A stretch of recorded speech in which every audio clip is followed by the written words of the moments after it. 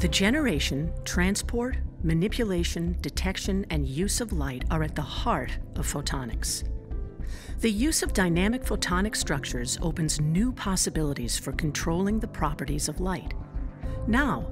a recently published award winning paper discusses how light pulses can be stopped, stored, and time reversed.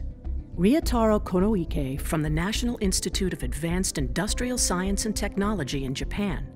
has been selected as the 2019 APL Photonics Future Luminary Award winner. His winning paper on chip dynamic time reversal of light in a coupled cavity system was published in the March 2019 issue of APL Photonics. この賞を受賞できたのは京都大学の野田進先生と浅野隆先生の、えーと、大変あの素晴らしい研究環境を、えー、 用意していただいたあのためと思っておりまして大学に入った時から光とかに興味がありまして光の研究をしたいと思っていまして Time reversing light is the phenomenon when the evolution of a light pulse is reversed. During the process, the light pulse evolves as if it is going back in time, reverting to a previous state. トニック結晶に光を閉じ込めた上で、えー、さらに光の時間反転ということがあの実験的に、えー、実証できたので、えー、このフォトニック結晶を用いた光の、えーと、いろんな操作が、えー、実際にいろいろできるというところに、えー、非常に面白さを感じています。Konoike and his colleagues first created photonic crystal nanocavities on a silicon chip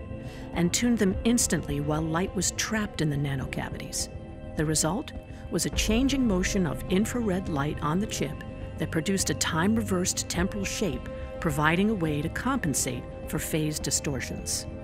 でこのような光のチップというのができますとあの光を用いたえー、いろんな応用に使われると思っております。例えば通信であったりあの量子情報処理やセンシングといったさまざまな応用にあの広がっていくということを期待しています。The work is the first to show time reversing light in planar optical circuits with a linear material.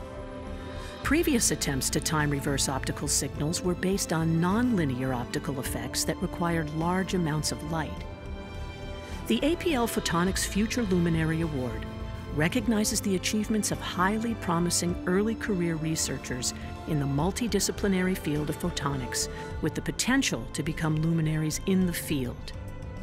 Konoike will receive $3,000 and an invitation to write an article in APL Photonics. He also earned a seat on the journal's early career editorial advisory board.